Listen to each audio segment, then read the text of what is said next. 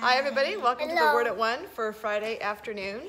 So, we're talking this week about how Jesus reconciles us to God. He reconciles us by being the light, He reconciles us by being the bread, by being all that we need to make us whole.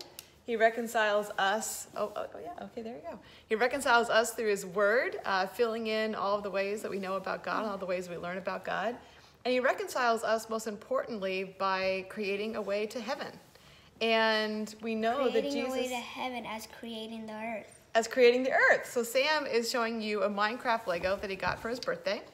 And Minecraft is a game where you create houses and, and worlds. And, and, you create your life to stay there. That's right. So this is a, a little Minecraft Lego of a, of a creation. And it kind of is a symbol, sort of as a picture of what Jesus said to his disciples in John chapter 14. That he's going to heaven and they couldn't go right then, but someday they would go because of what Christ did. He's the way, the truth, and the life.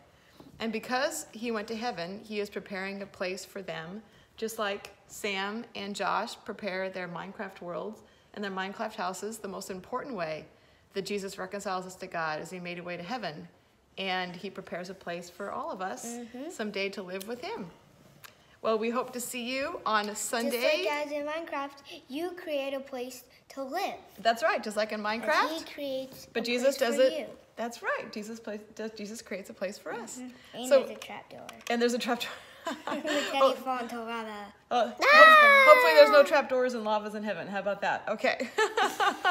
well, we hope to see you all on Sunday um, in however you're comfortable, um, digitally at 8.15. Um, our traditional service at 9 o'clock, contemporary at 10.30. Please RSVP or uh, please uh, just come in if you're available that morning.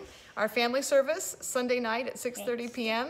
And just lots of ways to rejoice and worship and be thankful, knowing that a place is prepared for us in heaven.